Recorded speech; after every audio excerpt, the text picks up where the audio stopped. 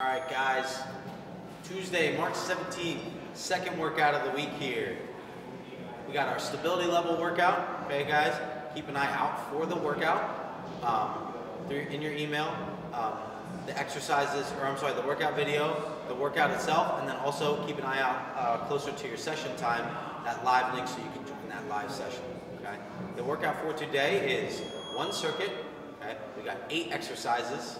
Okay, and we're doing all isometric holds today. Yay, you're welcome. The first exercise we're doing is a Y hold. So we're starting on our belly, our arms are straight, our thumbs are up. Okay, we're in a Y position with our arms making our whole body into a Y. From here, eyes stay down at the floor, and we're lifting those arms up overhead, squeezing our upper back, squeezing those shoulder blades together, and hold that position for one minute. Okay? Then, after our minute there, we're flipping around onto our back, and we have a bridge hold. So, feet are flat, we're gonna squeeze our glutes, drive our knees forward, and bridge those hips up. Feeling your glutes work, so squeeze your butt, okay? And we're holding that bridge, we got a minute hold there as well, all right? Then, onto our side, we're going into our side plank hold. So, you got a couple options here.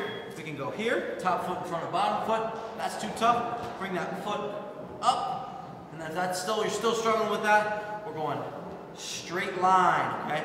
Knees down, knees bent, okay? Either way, guys, hips gotta stay up. We need to be in a straight line from our head through our end point, wherever that is, whether it's our knees or our feet, okay? We're going 30 seconds each side on that one.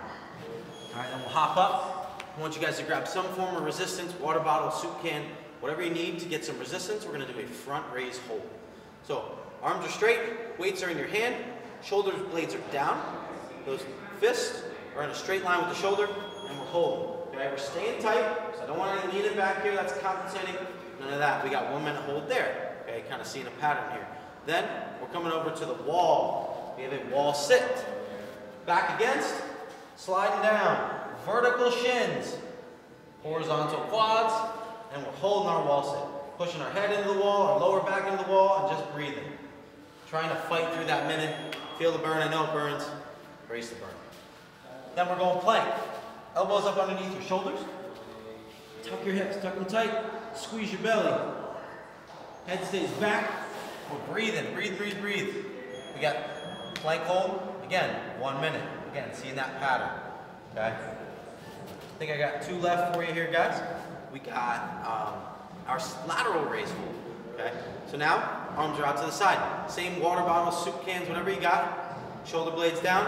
Hold that position. Again, staying tight, staying tall. Trying to keep those arms as straight as you can. Keep them up as high as you can. Again, in line with those shoulders. One minute hold there. And then I got a crowd favorite over here on the pull. We have our anterior tib hold. So we're leaning against the wall. Now our legs are straight. So we're not wall sitting. I mean, kind of wall sitting.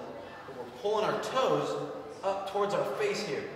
Feel this muscle work. Feel it, feel it, feel it. You might feel it here. You might feel it towards the ankle or top of your foot. That's fine as long as you're pulling your toes up as hard as you can for that one minute. Okay? Guys, we're going two rounds through that circuit. Okay? It's a little easy. That's fine. Go through another round if you need to make it tougher. Okay? Enjoy the work.